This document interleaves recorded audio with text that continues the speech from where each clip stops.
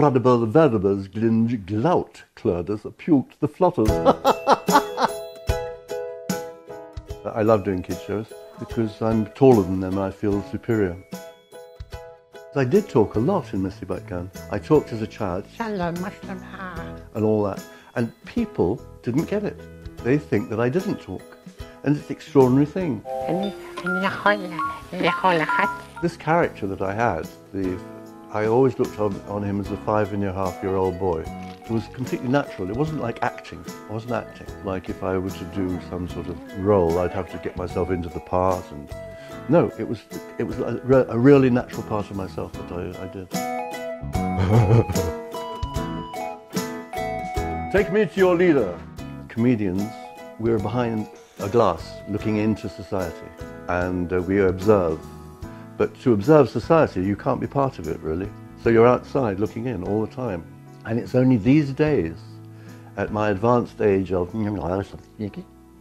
that I start to realize that there is more to life than just being funny.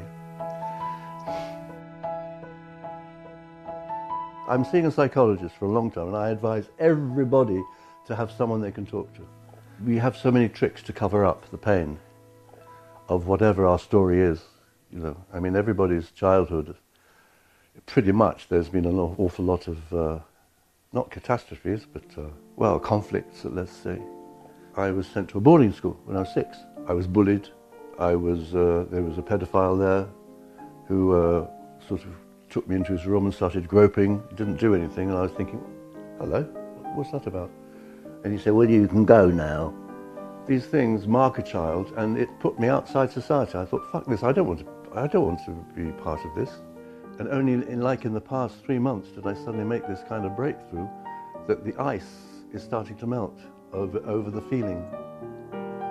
I'm sorry, did you expect this to be very funny?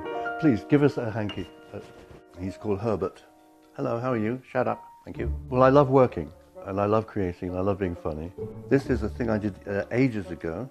So I'm doing uh, my, my, my carvings. I'm doing the uh, what I call a flatue, which is the statue, the big one at the Bacolip, but it's flat.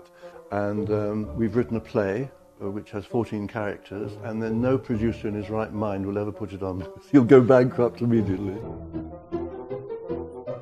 I made a film in the Macollet with uh, some friends, which the museum decided they loved, and they, they're showing it on the wall 24 hours, well, 12 hours a day, and that's part of the new exhibition. It's called Dachus.